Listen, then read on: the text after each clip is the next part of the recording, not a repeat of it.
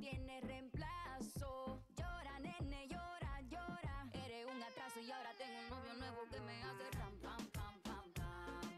Ram, pam, pam, pam, pam. No me busques que aquí no queda nada, nada de nada. Me hace ram, pam, pam, pam, pam. Ram, pam, pam, pam, pam. Tengo otro que me lleva a la disco a pelear. DJ,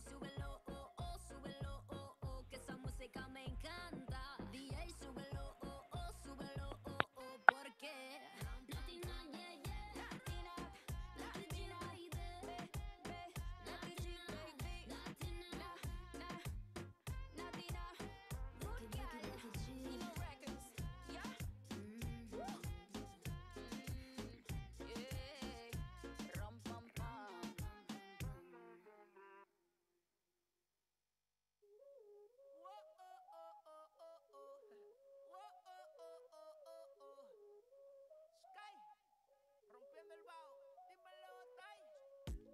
puse a dedicarte tiempo, tiempo del que yo había perdido. Amores como el tuyo no lo entiendo. Estoy solo y ahora eso es un lío. Porque salgo para la pista, para el party. Baby, suelta alcohol y. No quiero que me llamen mami. Ando suelto de party por Miami. Más tan chulita que te ves. Ese booty parece de TV. Ando con par de y par punto 10. Yo te digo. por eso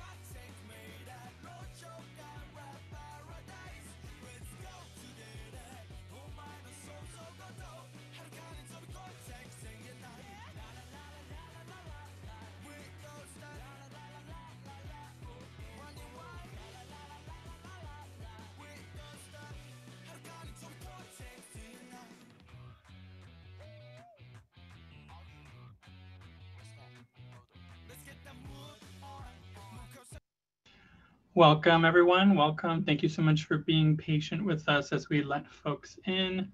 We're going to go ahead and get started. Um, we have a kind of a packed agenda, and so we want to make sure that we're able to get through everything um, and we can save some time at the end for questions as well. So with that, we're going to go ahead and start. But thanks so much again for everyone who's here. Really excited about this. Um, so as we do with every webinar, we'd like to take a moment to acknowledge that we are uh, joining tonight's Zoom event from different places, uh, but wherever that is, you are on occupied stolen land. So I'm joining you all from Yokuts land in what is also known as Fresno, and we encourage you we encourage you to identify uh, whose land you are on, and you can look that up at native uh, hyphen or dash land.ca uh, um, and find out what region you're in. Oh, and apologies. Looks like our interpreter was muted. Perfect. Um, so not only do we seek to recognize that this land does not belong to us, but we also recognize that Indigenous people are still here, active in our shared communities, advocating for justice, equality, fairness for all people, and our Earth. California is home to more Indigenous people than any other state, and there are currently 109 federally recognized tribes and 78 that are still in the position of petitioning their government to be recognized. Um, so here we have some art from Jackie Fawn, who illustrated the vast beauty uh, and rich culture of native California, from the ancient redwood giants to the concrete towers of the city. Um, of the city. Um, California, as the rest of the country, will always be native land, and it is important to honor and recognize the land we stand upon. This illustration is of a woman standing strong with the medicines our ancestors prayed with, a two-spirit youth holding the drum and songs of our ancestors, and wearing red for our MMIP, Murdered and Missing Indigenous Peoples, and of an old of an elder that has carried the knowledge of our ancestors for us to carry into future generations. Um, so again, thank you all so much for being here. Um, we just want to make a note um, that for those who need Spanish interpretation, so los que ocupan uh, interpretación, uh, si tenemos uh, servicios de interpre interpretación, perdón, um, y pueden acceder a la interpretación en español haciendo clic en el globo que dice Interpretation y um, ahí en la pantalla pueden seleccionar Spanish para español. Um, y también, por favor, si pueden poner el chat si están teniendo un problema accesando um, ese servicio y podemos parar para resolver eso. Additionally, we do have closed captions as well, so they can be viewed by clicking on closed caption uh, at the bottom of your screen. So también tenemos uh, subtítulos, so pueden ver los subtítulos haciendo clic en closed caption en la parte inferior de su pantalla. Um, and hosts and co-hosts, just a friendly reminder, make sure we don't uh, mute the interpreter um, so that uh, interpreter can communicate with folks who are using that service. So we'll move on to introduction. So um, I am Luis Ojeda, my pronouns are he, him, and I'm the regional organizing and program manager, uh, and I am with ACLU NorCal. And then I'll turn it over to my co-presenter, Cynthia, as well. Hi, everyone. My name is Cynthia Valencia. My pronouns are she, her, and ella. I'm a senior policy advocate and organizer at the ACLU of Southern California, um, and I'm based out of Orange County. Awesome. So yes, so awesome to collaborate with Cynthia and to uh, have everyone here from NorCal and SoCal. Um, so if you haven't already, if you can please introduce yourself in the chat. Uh, we're doing name, pronoun, city, and then one word to describe how you are feeling tonight. Um, so feel free to share that uh, into the chat as we get started. So as we get started, we are going to launch a poll. We're very curious. We've got um, about 100, a little bit more than 100 folks who have joined us tonight. Uh, and we're curious to know uh, whether you all will be working, uh, engaging in redistricting work this year. Um, and so we're going to be launching a poll. Um, and we want to see. And if somebody has access to the poll, because I actually don't have it on my screen, if somebody's able to launch it, um, we just want to kind of get a sense of where folks are at um, and see if uh, you all are planning on, on doing redistricting work.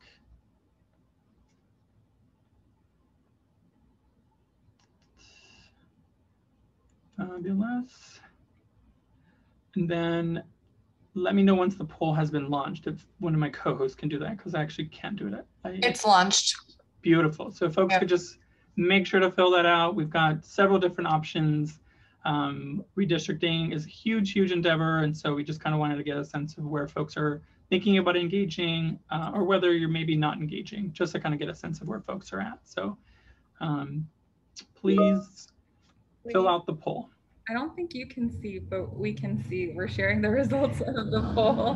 Um, and it's showing that most people are maybe interested, and I think that's great because folks are here to learn today um, about what redistricting is. A lot of people are very interested in Congress and how they can um, help with those, and also city council districts and um, school board districts. But yeah, hopefully we'll um, learn more uh, throughout the presentation. Thank you, Cynthia. And yes, hopefully we'll turn those maybes into yeses by the end of um, the night. So we'll go to the next slide and just going to uh, provide a quick overview of the contents of what we're going to be discussing tonight. Um, so we're going to start with just a brief overview of what is redistricting and why it matters. Um, we'll then move into talking a little bit more about the redistricting process. Uh, and then we'll talk about the things to look for as you are engaging in this work. And then lastly, we'll, we'll share some opportunities for um, engaging at the local level. Um, so it's super exciting, again, to see you all here. Um, and I'm really glad that we are going to be talking about redistricting. So I'm going to turn over to Cynthia, who's going to walk us through the first section. Yeah, so we just wanted to start off with very, you know, basic information. I know some of you are really knowledgeable about this already, have been doing lots of great work locally in your communities, and I'm really happy to have you here. But we're gonna start um, here uh, just at the very basics. So next slide, please. Okay, so what redistricting is, is a process that takes place every 10 years following the census. And it's the literal redrawing of district maps um, for political jurisdictions. And I'll go more into what those jurisdictions are, um, but it impacts so many different ways in how our government works in the very, very local level and the larger national level.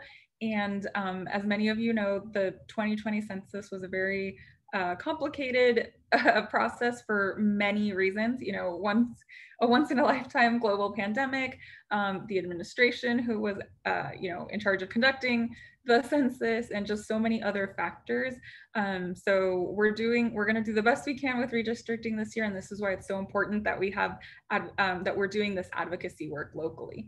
Um, next slide, please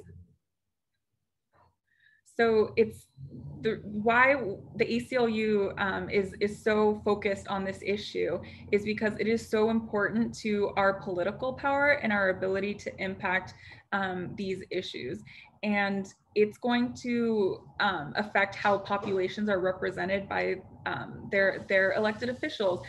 For those of you who have participated in our lobby days or who do advocacy work locally, um, you know, you know what it's like talking to your elected officials and how difficult it can be sometimes. And um, it really makes a difference of of who we elect, not just you know by voting, but also where these district lines fall and how they represent all of the constituents in the regions that they're representing. Um, so that's why it's so important that when we're doing redistricting, and we're going to go more into this later about how we can keep um, communities um, together, and so that way communities aren't separated by the way that district lines are drawn. Can we go through the next line or next slide, please? And then just another, you know, uh, background to, to let you know. So the way that things work in certain regions, so cities, for example, is that sometimes we have systems where there are at-large elections, meaning that you vote for everyone who's your representative, and it's not like in your district. So this is most common in, in cities. So for example, where I live, I live in the city of Huntington Beach, and when I vote for city council members, I can vote for three at one time or two in one time, and they can live anywhere in the district. And honest, sometimes this is a problem. And I will say for my city, it is a problem because all of the people who are elected to city council are live very close to each other. And there are certain regions from the city that they're not uh, representing. So then we have, um, so what happens usually in like cities that are physically larger or large by population, it's really based off of population. Um, we have single member district elections.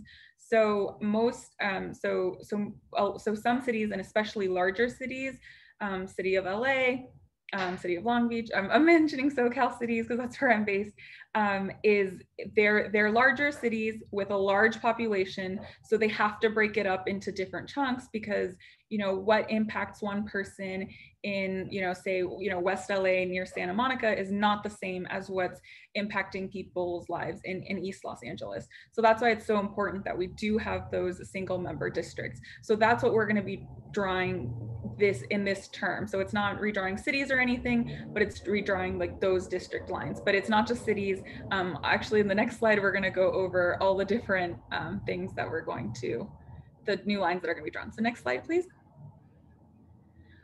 So an example of all of the different lines that will be drawn this, um, this year is US Congress, House of Representatives, um, the state and Senate Assembly districts in, in California, the County Board of Supervisors, uh, city councils, like I mentioned, you know, the difference between at-large and districts, um, boards of education, school districts, college districts, and special districts, such as your water district.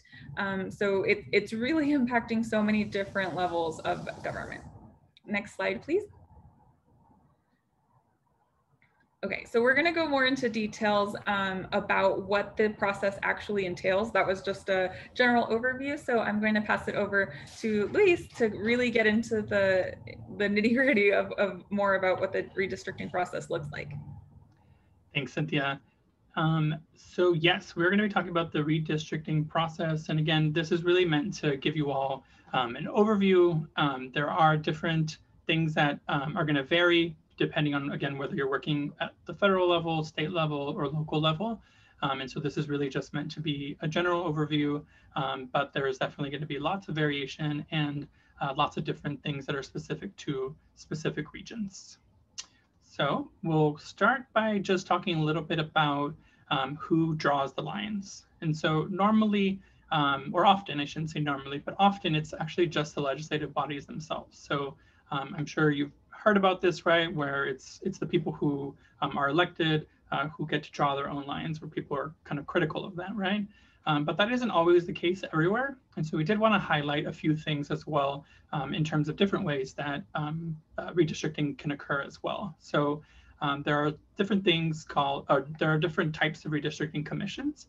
Um, and so some of them uh, uh, include the Advisory Redistricting Commission. And so this is really just, um, you know, groups of people in the community who are advising um, the Board of Supervisors, for example, or city council on the redistricting process. So they only have the power to recommend maps to the legislative body.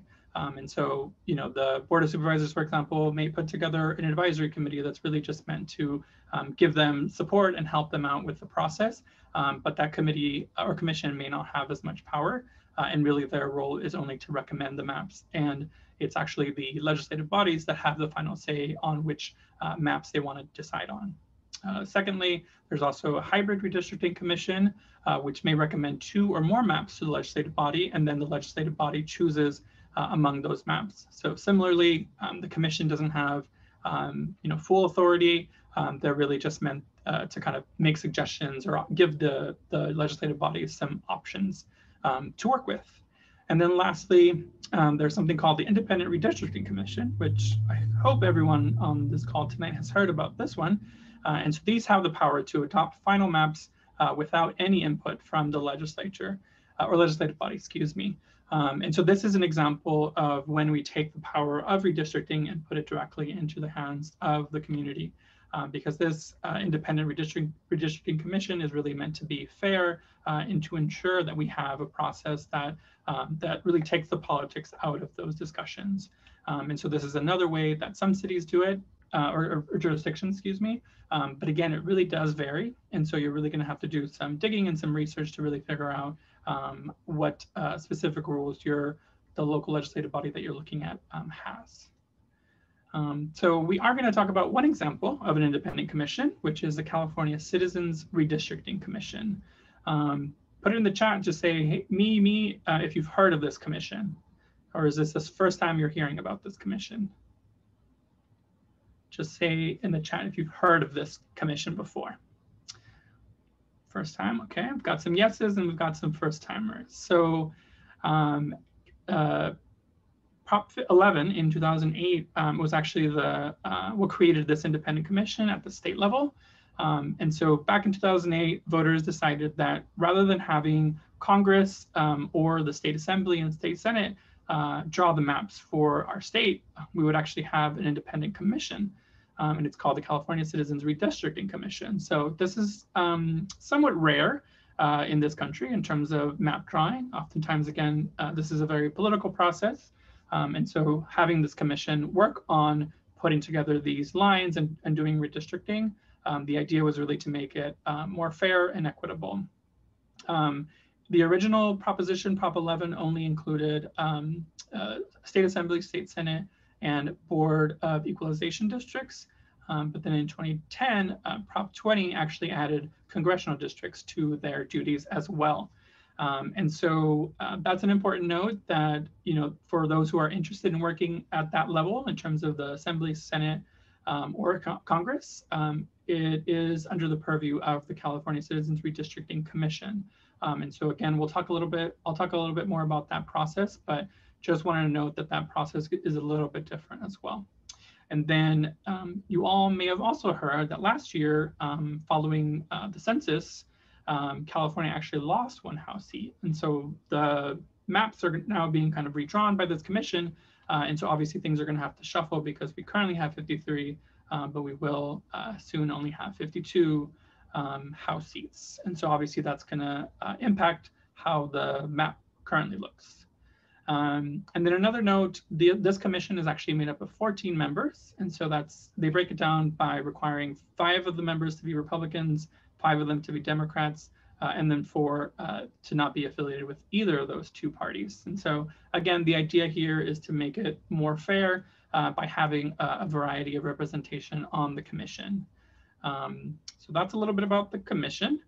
Um, and as you can see here, this is a map of how the commission is breaking down their outreach efforts. Um, and so uh, as you can see, they've broken down the state into different regions depending on uh, location. Uh, and also here you can see the list of the commissioners uh, from the different counties and where they're from.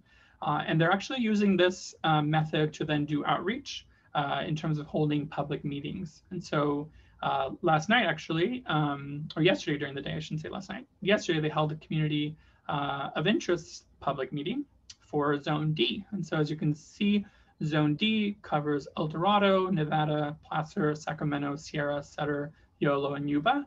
Uh, and so that meeting was yesterday, uh, and they were really looking to hear from folks that live in those counties. Uh, but they are going to be continuing to do meetings throughout uh, these next few weeks um, in all of the different regions. And so We'll provide more information in our follow-up um, if folks want to uh, participate in that. Um, but that's uh, very interesting in terms of um, uh, the where they're where they're from and and how they're doing the outreach as well. Um, and again, we'll provide the website link to um, where you can learn more about this this process as well. And then additionally, a good good flag. Um, Yes, thank you, Valerie. Um, it looks like some of the members, I'll go back, it looks like some of the members are actually listed um, multiple times. So I'm not entirely sure um, why that is. Um, but yeah, essentially my understanding is that there are 14. So we'll make sure, thank you, Cynthia. Yes, you can follow that link and you can learn more about this process um, and how you can engage. So we want to share a little bit about the timeline, but we also want to make sure we, um, you know, it's with an asterisk to, uh, to say that the timeline is definitely going to shift potentially. Um, as you all heard, the, the census data release was uh, late, it was pushed back. Uh, and so, you know, that could happen again uh, and there could be further delays, but currently the kind of um, tentative timeline that we're kind of looking at is that the uh, census data will be released to um, the state um, August, perhaps September, uh, and then in October, there's going to be um, public input meetings. And so this will be more opportunities for folks to uh, engage and participate um, in uh, the process as well. And this is something we'll talk a little bit more about, but it's super important um, in terms of making our voice heard and participating in these meetings. Um, and then in November, um, again, tentative, but uh, the hope is that in November we'll then see some draft maps released. And so again, this is for Congress, the state assembly, and the state senate. And so these are going to be proposed new maps, and we can take a look at them uh, and give um, feedback and really uh, give input in terms of how we think those maps, um, you know, properly represent the communities that we're working with, um, or maybe fall short. And then uh, hopefully at the end of the year, or by the end of the year, um, we'll have new approved maps, and those are going to be the maps that are then used in the uh, elections next year. Um, so again, all of this could change, um, but this is currently uh, the tentative timeline that we're looking at as well. Uh, and thank you, Christina, for, for including the link there as well, where you can see all the commissioners and, and look up uh, their information. Um, so as we shared, the local redistricting process is a little bit different because this does vary again, uh, location by location. The Independent State Commission only covers Congress, the State Assembly, State Senate, uh, and the Board of Equalization. But everything else in terms of your Board of Supervisors, your city councils, your school districts, and other local districts, um, they have sort of each in their own different process. But they have similar um, timelines as well. So again, similarly, hopefully by September, they'll get the census data and they'll be able to then hold those public meetings uh, for the community to participate uh, and make sure that they're giving input. Uh, and then uh, depending on when the next regular election is, whether that's in June of next year uh, during the primary or uh, in November during the general election, um, the deadline may either be December or April. Um, so again, it's really important that we do that research and we find out when these um, uh, elections are happening and what the different processes are um, at the local level. So super important to know. But again, all of this could shift, but we're going to make sure to keep you all updated um, when these shift, when these shifts happen, uh, and make sure that you are aware of them. So next, I'm going to talk a little bit about the different requirements that um, local jurisdictions have um, in terms of uh, redistricting. So there's a few things that they have to do, and it's super important, and it's really um, something that we should hold them accountable to. Um, so the first one is creating a redistricting webpage. Um, I myself am in Fresno, and um, our board of supervisors, for example, put together a really awful website that just is not helpful, doesn't have much information, and so even minimal things like that, right, are something that are things that we should be advocating for, right? Is how do we make sure that your website is actually accessible um, you know, has different languages, has um, easy to navigate, all those kinds of things, right, uh, are super important. And so um, these web, web pages should uh, include information about the process, um, how to provide public input, dates of hearings and workshops, uh, agendas as well, and then recordings or summaries of each uh, of the different meetings that they, they have. Uh, and then also uh, any maps um, that they're considering, uh, and then also that's where they would put the final maps. So again, this is supposed to be a hub, a landing page for all of the information in your local jurisdiction uh, related to redistricting. And so the way that your um, local jurisdiction does this is super important. Um, and so just remember that this is something that you have an opportunity to um, advocate for um, before things really kick into high gear, right? We want to make sure that the, the, web, the web page um, is a quality web page. Um, Next, another thing is that they're required to do is that they are required to engage with the public. So, you know, they can't just be like, here are the maps and we drew them and, you know, thanks a lot for everything, right? They actually do have to talk to the public. Um, so uh, they are required to reach out to folks such as community groups or organizations uh, that are active in the region, um, including those serving limited English proficient communities, the disability community, and other historically underrepresented communities. So again, this is an opportunity for us to make sure that the public engagement that local jurisdictions are doing um, is going to be effective and that it's actually reaching the folks who need to be heard, right? Because oftentimes what happens is that folks who haven't been heard um, get left out of the process. And so it's really important for us to make sure that the local jurisdictions are engaging the public uh, in a really meaningful way.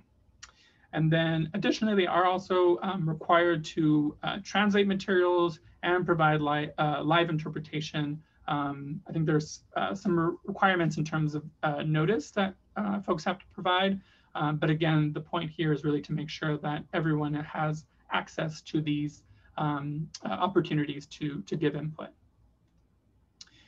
and speaking of input, there's two different ways that um, folks can engage uh, in terms of giving uh, input. And so the first one is through giving public testimony. And so jurisdictions are required to accept uh, redistricting testimony um, or draft maps, and this can be done either in writing or electronically. And then members of the public must be allowed to provide comment during hearings and workshops. So all the meetings that are happening, uh, they are meant to be open and they are meant to be, um, you know, opportunities to engage uh, from the public. So this is definitely something that we'll talk more about in terms of how to craft public testimony and how to make sure that um, you know you're you're putting together your statement uh, in a way that's going to be um, effective. And then lastly, uh, there are requirements related to public hearings as well. Um, so uh, the local jurisdictions are required to hold hearings before adopting uh, any final maps, um, and that includes at least four public hearings. Um, and there's different rules. At least one hearing must happen before, and at least two hearings after uh, drawing their first uh, map, their first draft map, excuse me. And then the fourth uh, required hearing uh, and any additional hearings that they that they hold um, must either be before or after the draft map has been drawn. Um, so again, creating more opportunities for input, not just having one and say we had a meeting and you know people came and they gave the input. Right? We have to provide more opportunities for folks to engage. Um, it's super important. And then at least one of the hearings must also be held on a Saturday, on a Sunday, or after 6 p.m. on a weekday, right? So this is really about accessibility, making sure that folks aren't left out of the process, and we're creating opportunities for uh, people to engage at a time um, where maybe they're not working or they have, uh, you know, they're they have more free time. So make sure again as you're looking at your local jurisdictions and the, the plans that they're putting out in terms of how they're going to be doing outreach, that it includes all these different pieces. Um, and they are required to also um, publish this information online. So again, that's where that redistricting webpage is going to be super key to make sure that they're actually updating it and it actually has all that useful information um, that, uh, that we require. And then uh, last two things, one is just around accessibility. So the local jurisdictions must ensure that all hearing locations are accessible to persons with disabilities and they must provide live interpretation at public hearings. So again, making these meetings really um, open to as many people as possible. And then lastly, around mapping, so cities and counties, uh, they may not release draft maps until at least 21 days after the release of state adjusted census data. And maps should generally be posted online for at least seven days before um, they select a final map. And so again, this process is really just to make sure that they're not just rubber stamping maps, right? That they're really allowing more and more opportunities for folks to engage, propose alternatives, give feedback, and all of that. So again, these are just some of the requirements that they are that the local jurisdictions do have to abide by. And so it's really important for us to be on the lookout um, as we're doing our research about uh, how the different local jurisdictions are doing uh, redistricting in their local communities. So we're going to go on to the next section, which is going to be what to look for. And Cynthia will go over this section. Great, thanks, Luis. Okay, so if you have questions, please write them in the chat and um, we'll save them towards the end because I know this is gonna be a lot of information. Um, and we'll, we'll definitely be sharing this with you so you don't have to memorize it, everything or anything.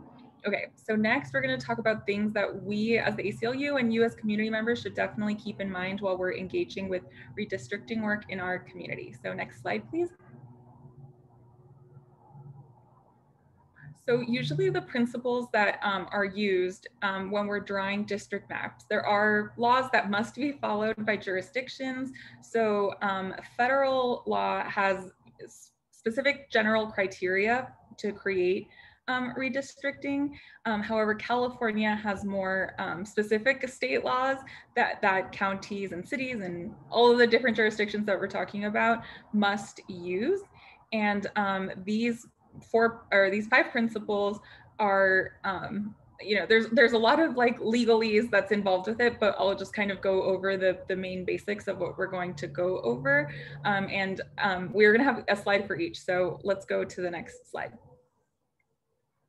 so contiguity, um, hard word to say, but it's basically just meaning that when, when you're drawing districts, you're not supposed to draw like these wild shapes. Um, you know, generally for those of you who are familiar with the word gerrymandering, um, that's what they mean. Like you can't, or you're not supposed to draw like these lines that are like just like go in a spiral sometimes, or if you've seen the very um, egregious examples of gerrymandering. However, sometimes because of the actual like geography of the region um, and and just how things are broken down, sometimes you can't do can, like you can't follow contiguity very well. Um, so that's why we're showing an example here of um, Oceanside and San Diego. Some of them might look like very odd. For example, in the city of San Diego, if you can see in the bottom right where District 8 has like one tiny little piece and then like a huge space and then the rest of District 8. The reason it's it's been drawn like that is because there's two cities um, kind of in between that gap and the bottom part is like actually the border that borders with Tijuana. And um, and also in order to have sufficient population it still needed a piece from up top so that's why it's drawn like that. It's like odd and, and confusing but we definitely need to to work on making sure that that we're not allowing you know whoever the decision makers are for drawing maps um, to gerrymander and try to you know not have contiguous districts because they're trying to pull populations from certain regions. So, so that's um, that's the main principle that we're trying to get to with with it. But there are, you know, sometimes on the map it might look odd or or like it is gerrymandering, but sometimes you know we have to look more closely and really analyze what the you know geography looks like and the actual like maybe there's a mountain range or something in the middle, and we need to grab populations to have equitable districts. So that's also something that needs to be taken into account. Next slide, please. Okay, so the second principle and one that we really focus on and we and this is going to probably be the bulk of, of the work that we're going to be doing is communities of interests. So um, you know this is like a like a specific term that is used by the state about how we need to make sure that these communities of interests um, stay together and that they're not broken up. And the way that um, the different ways that you know you can classify communities of interest is shared interests whether it be like maybe you know going to the similar schools or, or living in a specific region, um, social and civic networks, race and ethnicity, culture and language, socioeconomic factors, um, shared political boundary lines, and natural and man-made features. Um, so this can be, you know, it, it's very difficult if you're like an outside body to assess this. So when we were talking about the California Citizens Redistricting Committee, some of those members are from the regions that they're, you know, covering, but not all of them are. So that's why it's so important that, you know, us community members go to these meetings that they're hosting to tell them why it's so important that certain communities of interest stay together because they don't know like if they're not from your city they're not going to know you know what is a real line. Like maybe they're going to be like oh well we're just going to make it like a square basically just so it looks nice. We're just going to break it up into squares because it looks nice on the map. And it's like well maybe that's not how our communities are are built you know? Maybe there's certain other factors that take into account and these are all different ones. So so I think that's what's really important um, when we're when we're talking about communities of interest. That you know you understand what your community is, and um, and and we have to be active and be out there to make sure that they're not discounting us. Um, like I mentioned earlier, I am in Orange County, and um, I'm going to go into a case study of Orange County and what they did last um, the last time redistricting happened more more into detail and how they actually cracked and used communities of interest against each other for their own political purposes. But um, anyway, so so yeah, so this is like, yeah, you know, if, if anything that you get from this meeting today is that providing public comment at, for your communities of interest in your um, you know, local jurisdictions will probably be the, the most important thing and, and the most helpful thing that we can do um, while we're working on redistricting and doing advocacy in our communities. Alrighty, next slide, please. Okay, also um, minimizing division. So the division of a city um, or a census designated place here, um, in, the, in the previous slide, you know, we were talking about how keeping communities to, together is important. And um, it's more difficult to do this in very densely populated areas. So we're trying not to like, you know, break open these um, these highly populated um, areas. In this example, you will see um, a map of the six of California, wait, is this? Yeah, the sixth congressional district and a map of the city of Sacramento. And you can see that some of the maps have similar shapes because um, Sacramento falls into the sixth congressional difference. So it's so the goals that they were trying to do here is to minimize the divisions of like the different districts because we have you know congressional districts, we have supervisor districts, we have state senate, we have state assembly, we have the county, we have the city. So so sometimes um, if it looks odd for certain things, it might be because they're trying to keep them together. So like they're trying to keep your state um, assembly district within one Senate district so that one Senate district isn't breaking, you know, assembly districts in half and same with the Board of Supervisors district, they're trying to keep it um, that it makes sense with um, the, the congressional district. Um, or if it's a large city, they're trying to keep the large city all together in one congressional district instead of um, breaking up different cities with congressional districts. It's like very confusing. I, I feel um, like it's just a word jumble, but it is, there's a lot of different factors and, and this is another important one to take into account. Um, next slide, please. Okay, and then like I was talking about before, that nat natural and artificial boundaries are something that you take into account. Um, so here you can see a map of Congressional District 16 and most of it um, includes most of the boundaries of Merced County in the north and flows um, along uh, the Madera and Fresno County boundaries along with the San Joaquin River in portion. So they're taking natural boundaries into account when this was drawn. So like I said, that's also something that's really important, especially in places that are more rural where there's like, or, or places where there's just like natural geography, like mountain ranges or rivers or something um, that, that they do take into account when they're drawing these lines. Next slide, please. And then um, geographical compactness.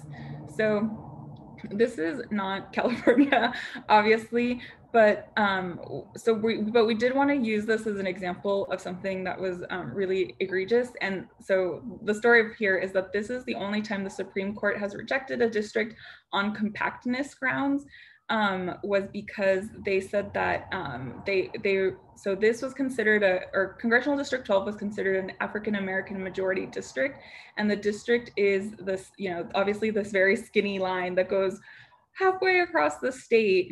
And um, the district was 100 it was about 160 miles long. And for much of its length no wider than just the um, freeway the 85 freeway um, and it, it winds in like this snake-like fashion until it gobbles up it basically gets all of the black neighborhoods specifically to create one um, congressional district to include all of the black population. And this um, it and the court did find that the that race was the predominant factor in drawing this um, in this district and that it was not compact enough to survive a legal challenge um, and the district had to be redrawn. Um, but if it goes to show you that they don't take um, so compactness isn't uh, usually a, a, legal challenge that works very often. Um, since we had to this was like the only example um, that we could find.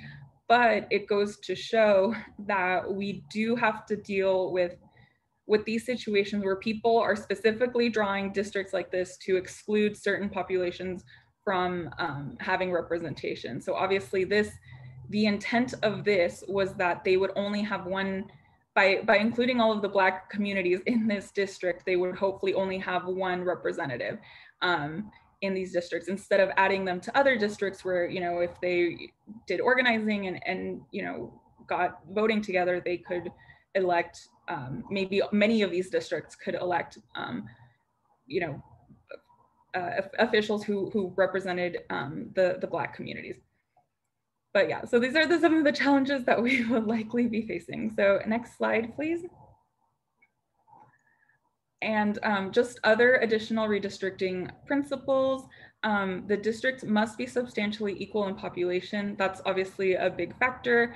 Um, district maps must comply with Section 2 of the Federal Voting Rights Act. So we're going to talk about that a little bit more. Um, well, Luis is going to talk about that a little bit more.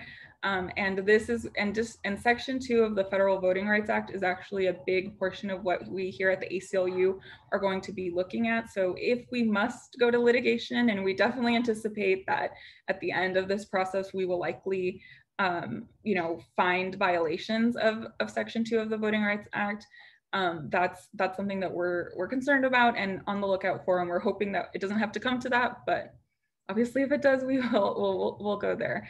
Um, and then also, lastly, line drawers should and some must follow you know the traditional redistricting principles. So that's you know the the state law is written in that way. Um, so that they have to follow these principles. Um, next slide, please. Okay. Great. Oh, yeah, go ahead, Luis. Now you're going to get into section two for the Voting Rights Act. Perfect. So yes, um, I'm sure many folks who are on have heard of uh, the Voting Rights Act, um, but the Voting Rights Act of 1965 aims to ensure that the vote of minority groups is not diluted as a result of the manner in which district lines are drawn. So to avoid this form of voting dilution, uh, line drawers must create district maps with one or more majority minority districts or districts where a politically cohesive minority group has an effective opportunity to elect candidates of choice um, when the following things are true. So it is dependent on these. So the minority group is large enough to constitute the majority of the voting population in a geographically compact district. Um, so again, if um, you know there's a community of um, Latinx voters who live in a certain community, right? It's like, how can we ensure that those folks have the ability to actually vote for somebody um, that represents them?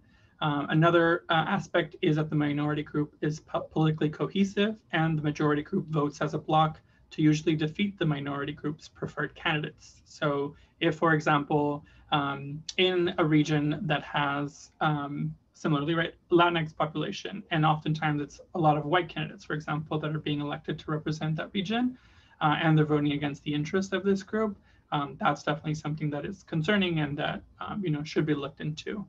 And then lastly, looking at the totality of the circumstances, the minority group has less of an opportunity to participate in the ele electoral process and elect candidates of their choice than the majority group. So again, it's really looking at how we can ensure um, that every voter has um, a chance to cast a meaningful ballot, um, and it prohibits the voting practices or procedures that discriminate on the basis of race, ethnicity, um, or language. Um, and we talked, or we mentioned gerrymandering earlier, um, but we did just want to flag again, this is probably a term that lots of y'all have probably heard um, has been mentioned, um, you know, in any conversations around politics. Um, but gener gener gerrymandering, excuse me, is the manipulation of district lines to improperly affect political power. Um, and so, you know, this can be used to favor a certain, you know, political party, for example, um, you know, in terms of how those maps are being drawn super strangely, for example, right? They're really trying to um, make sure that perhaps somebody who's an incumbent, for example, um, continues to stay in power by ensuring that their political party is the majority in a region. Uh, but this is obviously something that impacts voting power because um, if those things, if those maps are drawn in a way that uh, disenfranchises people, um, that they obviously don't have the same power as they would uh, if they were properly represented. And just a quick, did you know? So the term gerrymander was first used in 1812 to describe a district map signed into law by Massachusetts Governor Elbridge Gerry. The map was improperly drawn to protect partisan interests, resulting in one district that resembled a salamander. Um, so there's where the gerrymander term came to, which I found quite uh, quite amusing. Um, so next we're going to talk a little bit about different ways that uh, local jurisdictions uh, dilute uh, the power of people of color um, and other marginalized communities. So as we know, um, again, this is a very political process. So these are things that we definitely have to keep an eye out for. Um, but one of the things that uh, can sometimes happen is called uh, packing. Um, and so packing refers to concentrating as many people of color as possible in as few districts as possible to limit the total number of districts in which they have influence. Uh, for example, if a community could be 55% of the voting age population in two different districts, but are concentrated together uh, such that they are 80% of just one district, uh, this is packing. So now instead of this, uh, if instead of the people of color in this community being able to elect a candidate of their choice in two districts, they only have enough political power uh, to elect a candidate of their choice in one district. Um, and so here in this map, you can see that most of the light blue circles are within um, uh, District 3, uh, and there's only one uh, circle, light blue circle in the other districts. And so this means that um, only District 3 is um, majority people of color, and so perhaps they'll be able to elect one person of color within this, uh, you know, these four regions. But unfortunately, that won't be enough, right? Because when it's four people, only having one representative uh, isn't going to be uh, isn't going to allow you to do uh, a whole lot. Uh, and so again, this is something that uh, can often happen when redistricting uh, occurs, where they try to put as many of one group into one region, which again dilutes the power of that community. So something really important to look at. on the other spectrum, um, there's also something called cracking. So cracking refers to fragmentation uh, fragmented, excuse me, fragmenting uh, concentrations of people of color among multiple districts to ensure they have no effective voice uh, in any district. Um, so again, in this example, um, what's happened is you've got two or three um, light blue circles in these four regions. Uh, and so in none of them are they majority. Uh, and so that essentially, uh, you know, removes them from the ability to elect representatives that uh, properly um, advocate or represent their community. And so now instead of having just that one, now they have none. Um, and so again, this is a, a, something that can happen depending on how lines are being drawn, uh, where communities are being split up um, and they don't have uh, a voice. And then in this um, last uh, example here, you have an example of uh, a way that you could draw the district so that it was more representative. And so here in this um, chart, you can see that in the packing example, um, again, all the people of color uh, were crammed into District 3. Uh, and so the majority of District 3 was people of color, uh, but the other three were not. And then the cracking example, people of color did not constitute a majority of any of the four districts. And so therefore they, you know, they didn't, they weren't properly represented. Uh, but then in the other example where they avoid both packing and cracking, uh, they constitute 56% of both District 1 and District 4, which again at least provides an opportunity for people of color to have uh, representation and to um, elect someone that uh, shares their values uh, and properly represents their community. So again, packing and cracking, keep that in mind. I'm sure those are words that you'll hear and you'll um, uh, learn to love. So now we're going to talk a little bit about these, uh, our next steps. So again, we want to make sure that folks are learning, but also that we're now also applying uh, what we're learning uh, into our work. So Cynthia's going to talk a little bit about how we can engage at the local level. Yeah, can we go to the next slide, please? Okay, so these are the suggestions that we have. And um, at the end, Luis and I will provide our email so you'll be able to reach out to us so we can tell you more about how to specifically um, engage locally, um, but research how your local jurisdictions is handling redistricting. Um, so they, um, as we mentioned earlier, these just like it is required by the state that they have a website to talk about what their process is going to be and it is supposed to be translated into multiple different languages. So i definitely recommend just you know googling your your uh, county your city um, if your city has districts um, your your school board um, you know regions that you are interested in and seeing how their website looks. However we do acknowledge that some have done a bad job and if they have done a bad job with their website let us know. Um, as Lisa mentioned fresno seems to have um, a not great one. Orange county when we uh, advocated for them to put one up put one up and then they had a lot of ones that a lot of pages that said uh, TBD or or working on it or work in progress or something. Um, I think they've recently updated it, but but still. So if, if you're seeing things like that, please let us know. And um, you know, we'd love to, to look into that. And then our, our second recommendation is to connect with your neighbors and community organizations to coordinate efforts. Um, so wherever you are, um, you know, look into local community organizations that are doing, um, you know, grassroots organizing work. Um, and we can connect you with any groups if you um, you know if, if you have questions about it um, like I'll just say, you know, off the top of my head, in Orange County, there is a really great active coalition um, that we at the ACLU are a part of and that I'm, you know, participating in. In the inland, inland region, um, there's the IE Redistricting Hub, which is a coalition of multiple organizations um, you know, advocating for different communities of interests in, in San Bernardino County and Riverside County. And in, in Kern County, for example, there's, um, you know, uh, the Dolores Huerta Foundation is doing a lot of great um, advocacy work um, there for those regions. So just ask us and we can help connect you or look into it or ask your neighbors about the different community organizations because obviously it's easier if we're working together um, instead of duplicating work and trying to figure out stuff separately. Um, and then, you know, thirdly, definitely attend public meetings. So um, we'll put up the website again, but the We Draw the Lines website has um, for the California um, Citizens Redistricting Commission, they have that when their upcoming dates are. So actually on on the 24th, so on Thursday, um, there's they're going to have a community of interest hearing for the inland region. So for Riverside and San Bernardino counties, um, you know, even if you don't want to give public comment yet and you just want to learn, I would definitely recommend participating and just listening into this hearing. I did see a couple questions in the chat if these will be virtual or in person.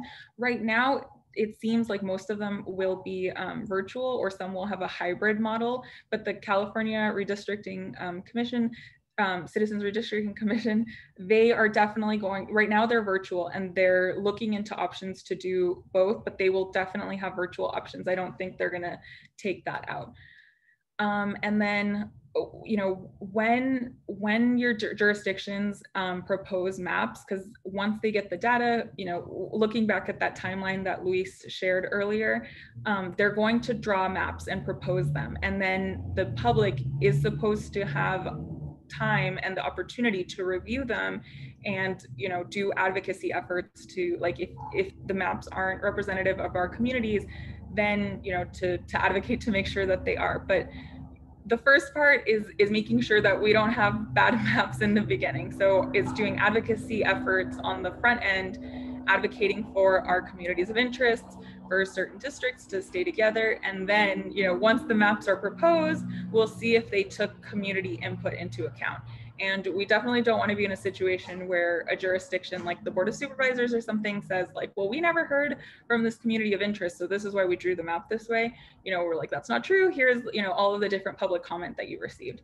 So this is, um, these are the, you know, very basic ways of how we um, definitely encourage you to engage locally, but obviously, you know, please reach out to us and we can help you um, you know find communities uh, that are doing work in in your region or um, you know if we are also doing work in that region join us while we're taking on these actions. Um, let's go to the next slide. Oh shoot. Um i think maybe my slide wasn't updated. Um, i'm gonna do you mind if i um, share ashley? Because i i had a slide for for orange county hold on everyone um, sorry, everyone, while we're figuring this out.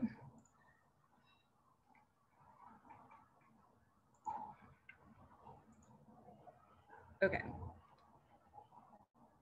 Can you see it? Okay.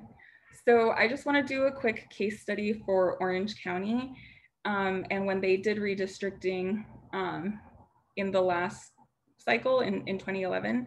So um, for those of you who aren't familiar, Orange County is you know, very politically conservative in terms of elected officials, in terms of, you know, people who actually live here, that is not necessarily the case. We have um, we have a very diverse population, people with lots of who speak lots of different languages from lots of different um, you know, ethnic groups.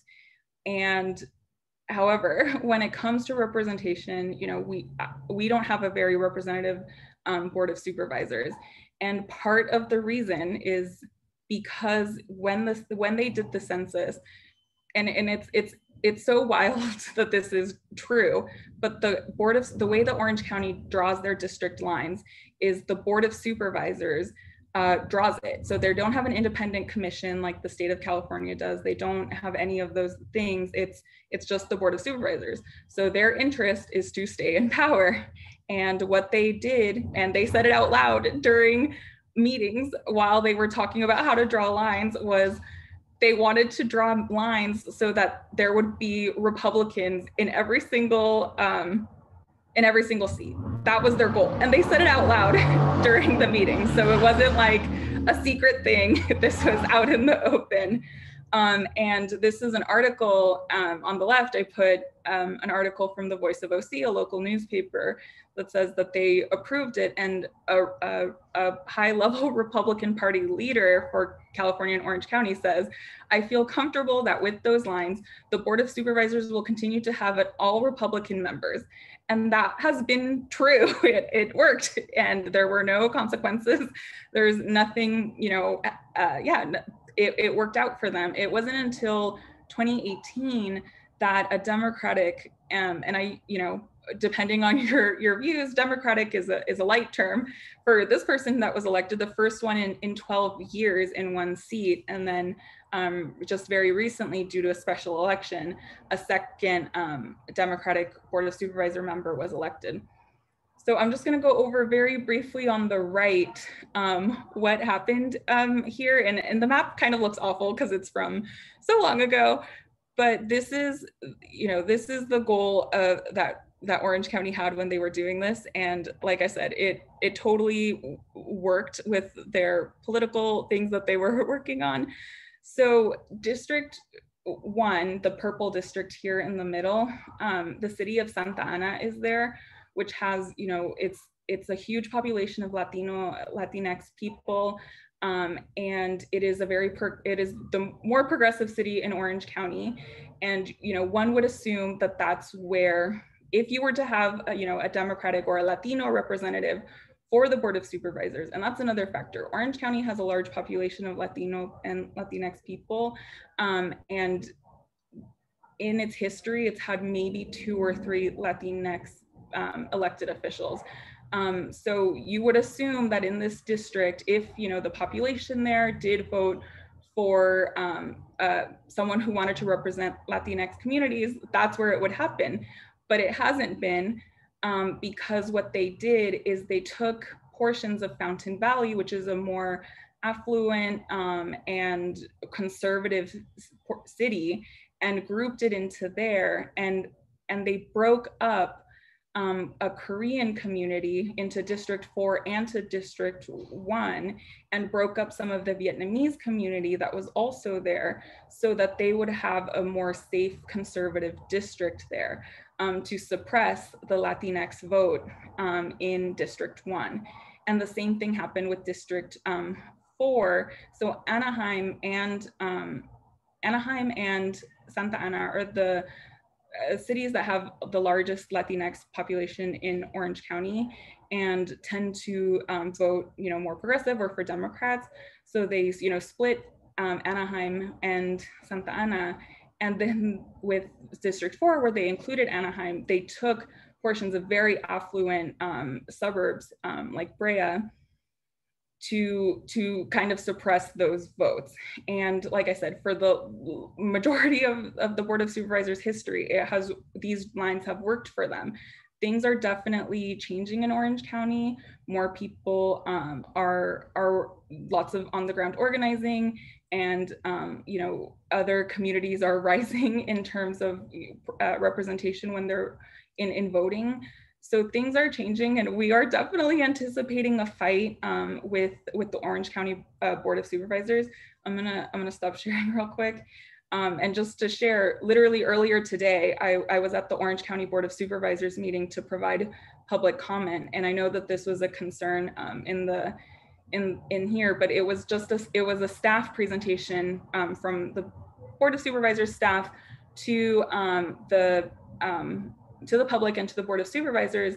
And they have um, they cut down public comment to 30 seconds. So I was there, multiple um, members from our coalition were there. You know, we had talking points, we were very organized, and they didn't tell us. So we were in the line waiting outside because also they do not allow public comment virtually. If you want to give public comment at this meeting, you have to be there in person.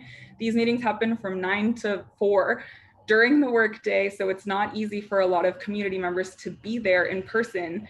Um, but you know, we went, we were prepared, and um, you know, while we were in line, some the first person who went up to speak said they only gave me 30 seconds. So then we all had to pass it down to each other that we only had 30 seconds. So these are the kinds of things that we are encountering um, while doing this advocacy work. But I'm very motivated and um, you know, I'm not going to let these obstacles that the board is, you know, doing to stop us. Um, you know, I'm working there. The ACLU is working there.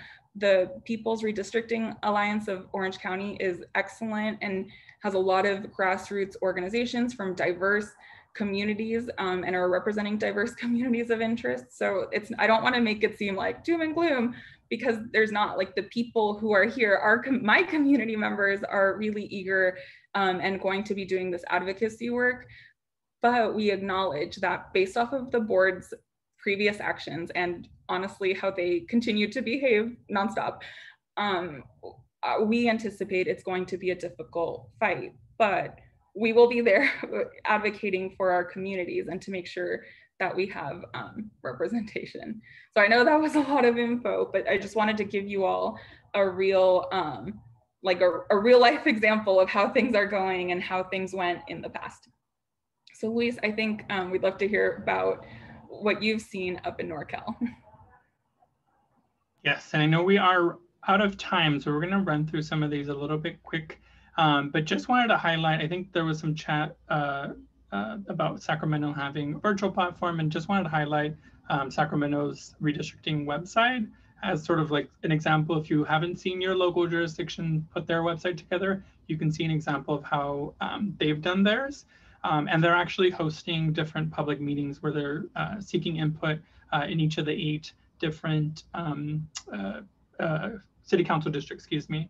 Um, and so that's a, another great example of, of how they're going uh, above and beyond, right? Not just saying we're going to hold one meeting and then everyone just come to that meeting, right? Um, they're actually doing eight different ones in the different districts. And so that's just an example of something that you could be advocating for your own lo local jurisdiction to make sure that there is more um, opportunity for folks to engage um, and have their voice be heard. So um, we'll include uh, more information about that in our follow-up, but just wanted to flag um, something that they're doing that we think is great. Um, so we're going to launch, someone hopefully is going to launch a poll as well now about uh, what your next steps in engaging with your local redistricting process. So earlier when we first started, there was a lot of maybes. Folks weren't sure they wanted to do this, but hopefully we've shown you that this is such a critical and such an important issue that is going to impact our lives for the next 10 years because we won't have an opportunity to update the maps again. Uh, and so we really, really want to make sure that folks have the tools and the information that they need uh, and that they're willing and interested in engaging with us uh, on this process. So we're going to put up a poll asking you what your next step is in engaging with your local redistricting process. And we'd love to hear from you all. Uh, and uh, we also just want to plug this redistricting 201 training that we're hosting uh, on Tuesday, August 10th. So we're going to be going a little bit more in depth into all of this uh, because again, we want to make sure that you have all the tools necessary uh, to engage uh, in this process. Um, so Cynthia, if you see the poll, um, if you want to give us a, a quick overview as people are responding to that poll. So if you haven't already, please fill it in. I think someone else launched it. I don't I, have. I see it. It looks like almost everyone has responded. We're about six, two thirds of the way there. A lot of people are interested in attending the redistricting 201. A lot of folks still want to do some more research. And there's also a lot of interest in attending public meetings. Awesome. Yes, I'm glad that folks are including research because I think that's a really, really important first step for everyone. If you're not sure what your process looks like locally or who's on that commission, if there is a commission or all of that stuff. So make sure that you are doing that research. And of course, um, we are happy to help you out along the way. So we are going to ask if you have any questions, if you can put them into the chat and we'll make sure to capture them all and send them into the follow-up email. Um, but if you have any questions, um, please do uh, reach out. So we want to highlight a few things. So as we said, um, we want to make sure that everyone gets involved. So please do that research, look into your local redistricting process, make sure that you are familiar with it, uh, or reach out to us if you need any support. Um, additionally, uh, we do have this training Tuesday, August 10th at 5.30, uh, redistricting 201. So we'll include information about that, but please do um, uh, join us. And then we have text and phone banking opportunities that both SoCal and NorCal are hosting. Um, and then lastly, uh, you can sign up if you're from NorCal at the aclunc.org slash be the change. And which is really awesome, there's going to be a redistricting landing page that's going to be like a statewide um, page for ACLU that's going to have information about uh, different tools and information that you can uh, read about redistricting uh, and really serve as a resource for everyone. So really important um, that, uh, that that's going to be available for folks. Um, and you'll be able to take a look at that and we'll make sure to share that out with everyone once it goes live, but it should be coming soon. Um, so we want to just say thank you. Thank you so much for being here tonight. Uh, we're going to include Cynthia's email for SoCal and my email for NorCal, but feel free to reach out to either one of us and we're happy to connect you with the right person. Um, but if you have any questions, please don't hesitate to reach out uh, and hopefully we'll see you all soon again. Have a good night, everyone.